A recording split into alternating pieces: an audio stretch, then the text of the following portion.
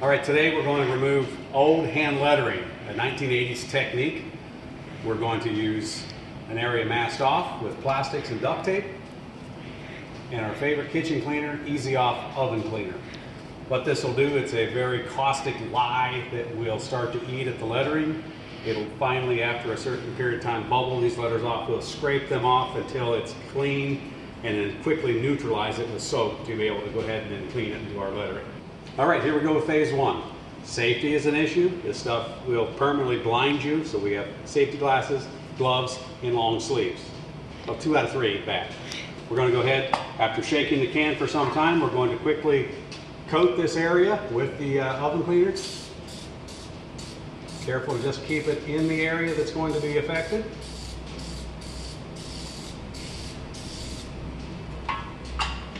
You can smell it already. So now we wait. All right, it's only been on for a minute or two, but it's very important to test frequently. Don't let it go too far. So we're gonna get in here and we're gonna check it. Okay, process is starting.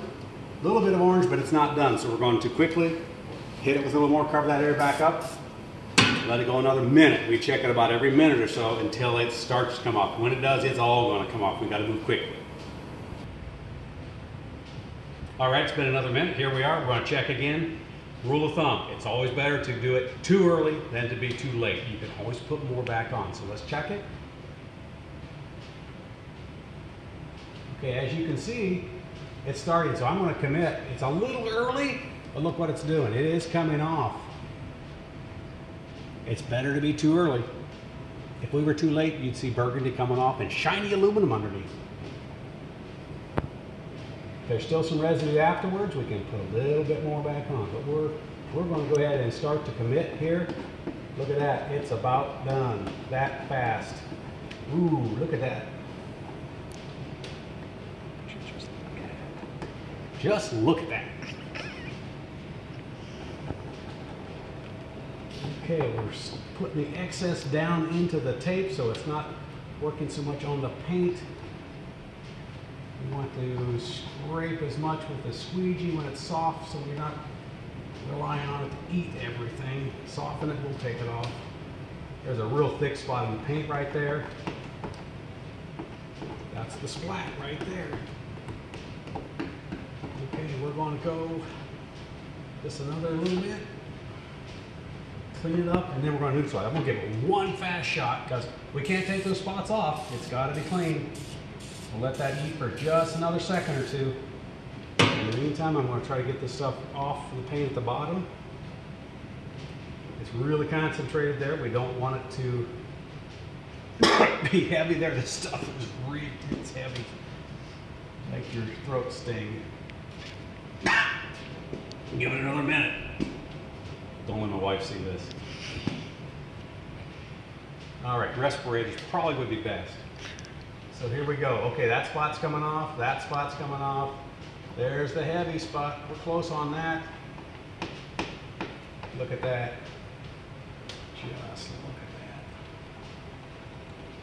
that. Like magic. It's almost all gone that quick. A few small spots yet. We're going to work at those with a squeegee. See if we get the squeegee to rub them off. The cleaner's still working.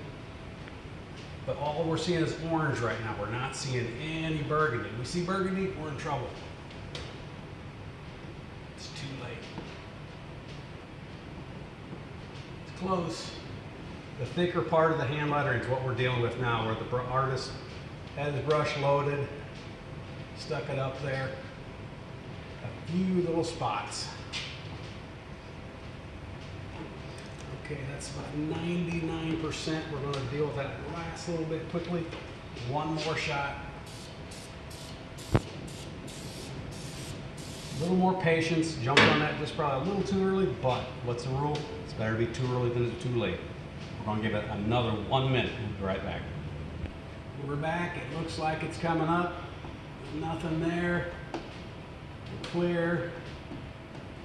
Coming down spots there, that's gone. We got the one big spot here, it's coming up now.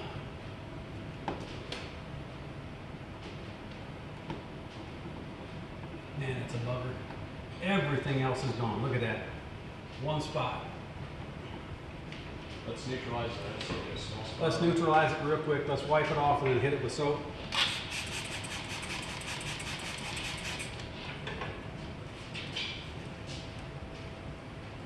Keeps all the cleaner off the paint for the most part. Okay, please let sit. We're gonna go ahead and see if we can work on this little piece. And it might be best just to hit that with a, a little blade here. So as you can see, this is the basic process in removing. Easy off oven cleaner, a lot of caution. Be careful, make sure you're just taking the paint off. Let's take that now. All right, we've got to isolate down to that one little brush stroke that was super heavy. We neutralized everywhere else, but we still got to be quick. We're going to come in with a plastic razor, see if we can do a little scraping after another minute. And look at that just about all gone. Keeping in mind, we softened the orange, but we also softened the burgundy truck paint, so we gotta still be really careful. This is just a little sharper squeegee we're working with.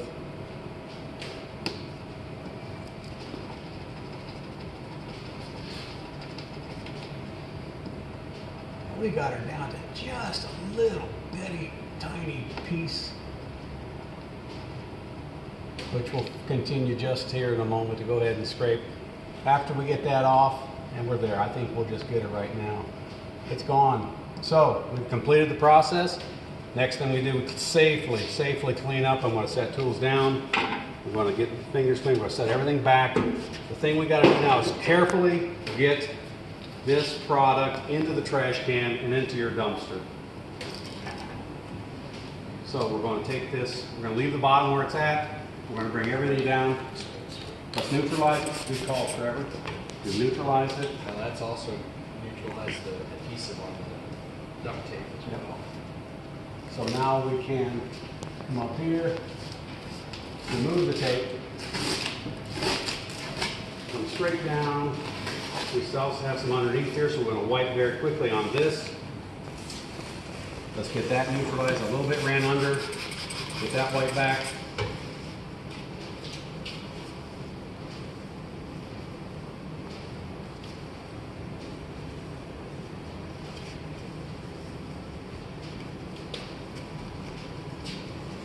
Take this into the trash, quickly dispose of it, and there you have it. We have removed hand-painted lettering off of a truck door. Thanks for watching.